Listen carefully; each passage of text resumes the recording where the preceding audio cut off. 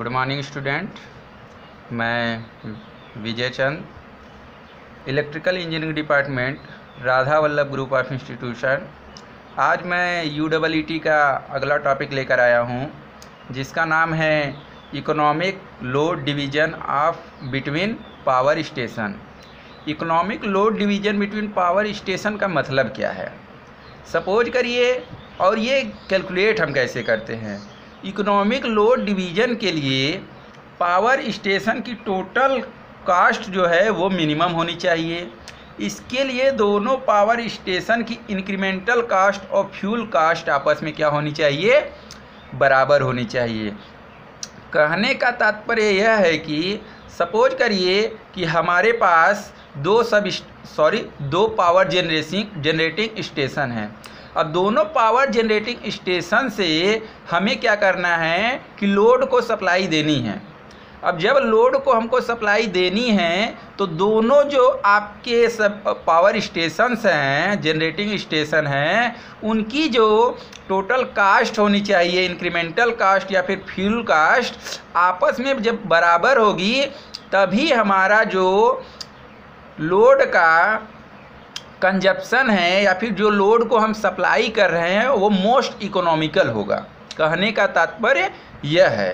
तो अब हम यहाँ पे एक टर्म आ रहा है इंक्रीमेंटल कॉस्ट अब इंक्रीमेंटल कॉस्ट होती क्या है? इंक्रीमेंटल कॉस्ट को निम्न फार्मूला के द्वारा हम डिफाइन कर सकते हैं, जो कि होता है आपका C equal to A plus B P plus C P square तो ए बी सी और ये तीनों आपके कांस्टेंट हैं तथा पी क्या होता है? जो हमारे पावर स्टेशन के द्वारा एक्टिव पावर जनरेट होती है। आइए अब हम इसके कर्व को देख लेते हैं। ये कर्व जो है, ये इक्वेशन हमारा जो है हाइपरबोला को रिप्रेजेंट कर रहा है क्योंकि सेकेंड आर्डर इक्वेशन है। तो कास्ट और पावर के भी जो ग्राफ बन रहा है हमारा, ये शो हो रहा है। तो चलिए यहाँ पे अब हमारा एक डेरिवेशन आता है। तो यहाँ पर देखते हैं। यहाँ पे दो हमारा जनरेटिंग स्टेशन है G1 और G2 ये बस के द्वारा कनेक्ट है और हमारा यहाँ पे जो टोटल लोड डिमांड है, उसे हमने PD से शो किया हुआ है। G1 के द्वारा जो हमारा एक्टिव पावर है, वो P1 है और G2 के द्वारा हमें, हमारा जो एक्टिव पावर है, वो P2 है। तो यहाँ पर जो जनरेटर जीवन की इंक्रीमेंटल कॉस्ट होगी इंक्रीमेंटल कॉस्ट मतलब यानी minute change with respect to minute power increment of generating station तो D C one upon D P one और जी टू के लिए होगा आपका D C two upon D P two तो दोनों आपस में क्या होने चाहिए? बराबर होने चाहिए। तब हमारा जो है इकोनॉमिक लोड डिवीज़न होगा या फिर total cost of power station should be minimum यानी कि जो टोटल कास्ट है, दोनों जनरेटिंग स्टेशन की, वो मिनिमम होनी चाहिए। तो उस स्थिति में हमारा जो लोड का डिवीज़न होगा, वो मोस्ट इकोनॉमिकल होगा। चलिए, आइए डेरिवेशन पे आते हैं।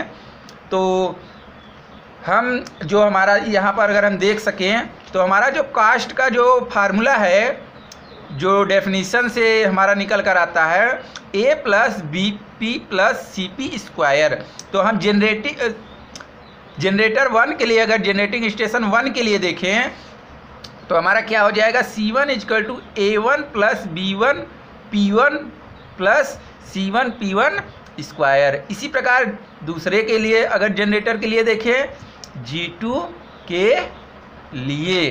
तो C two equal to A two plus B two P two plus C two P two square अगर टोटल कास्ट की बात की जाए, दोनों जनरेटिंग स्टेशन को अगर मिला दिया जाए तो हमारा टोटल कास्ट निकल कर आ जाएगा। तो C इक्वल टू क्या हो जाएगा? हमारा सी वन प्लस सी अगर हम दोनों को जोड़ दें ए इक्वेशन वन और सेकेंड को तो A one plus A two plus B one P one plus B two P two plus C one P one square plus C two P two square तो यहाँ पर जो आपका डिमांड है P D equal to कितना होगा आपका? P one plus P two तो अगर हम यहाँ से पी टू का मान निकाल लें तो हमारा क्या आएगा? P D minus P one ये जो वैल्यू आ रही है हमारी हम अगर इस इक्वेशन में रख देते हैं तो यहाँ पर देखिए A one plus A two B one P one plus B B two P two होगा ना तो पी टू की जगह हमने ये वैल्यू सब्सिट्यूट कर दी। और यहाँ पर भी हमने ये वैल्यू सब्सिट्यूट कर दिया है। तो फिर उसके बाद अब ये जो हमने मिनिमम की बात की, कि हमारा टोटल कॉस्ट क्या होना चाहिए? मिनिमम होना चाहिए। तो ये है आपकी मिनिमम की कंडीशन डिफ्रेंशिएट करने के बाद हमने इक्वल टू क्या कर दिया आपका? ज़ीरो तो इस इक्वेशन को जो हमारा ये इक्वेशन आया हुआ है, हम उसको P1 के रिस्पेक्ट में क्या करने जा रहे हैं? डिफ्रेंशिएट करने जा रहे हैं। तो डिफ्रेंशिएट करने के बाद this term should be constant यानी कि ये ज़ीरो हो जाएगा। तो B1 P1 P1 के रिस्पेक्ट में कर रहे हैं तो P1 क्या हो जाएगा हमारा? एक हो जाएगा तो बचेगा क्या हमारा? B1 अब हमारा P2 है PD हमारा क्या है? कांस्टेंट है, और P1 हमारा जिसके रिस्पेक्ट में हम डिफ्रेंशिएट कर रहे हैं। तो हमारा ये क्या आ जाएगा? यहाँ पे माइनस वन आ जाएगा तो ये आ जाएगा आपका माइनस बी टू तो पी वन के रिस्पेक्ट में अगर हम यहाँ करें तो हमारा ये आ जाएगा two C one P one plus अगर इसको डिफ्रेंशिएट करें हम तो ये टू आगे आ जाएगा, फिर ये आएगा, फिर इसका डिफ्रेंशिएशन जब हम करेंगे तो हमारे माइनस वन आ जाएगा इक्वल टू क्या हो जाएगा? ज़ीरो अगर फिर हम पुनः इसको सॉल्व करें तो हमारा ये कंडीशन मिलकर आता है, जो मैक्सिमम मोस्ट इकोनॉमिकल कंडीशन को देता है। अब ये आया कहाँ से?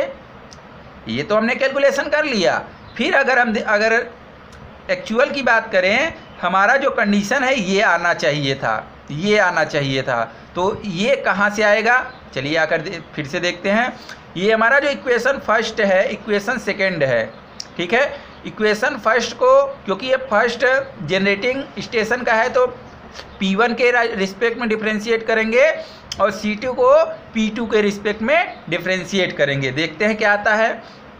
डी और डी का अगर रिस्पेक्ट में सॉरी डी पी वन के रिस्पेक्ट में अगर डिफ्रेंशिएशन करते हैं तो हमारा ये आ जाएगा। और D C two upon D P two को अगर देखते हैं तो ये आ जाएगा। तो ये वैल्यू और ये वैल्यू हम यहाँ पर देखते हैं, आपस में बराबर है। यानी कि D C one upon D P one equal to D C two upon D P two यानी कि जनरेटिंग स्टेशन वन और जेनरेटिंग स्टेशन टू का जो इंक्रीमेंटल कॉस्ट है, वो आपस में बराबर है, जो कि हमारा डेफिनेशन में की कंडीशन को फुलफिल करता है। ठीक है? ओके धन्यवाद।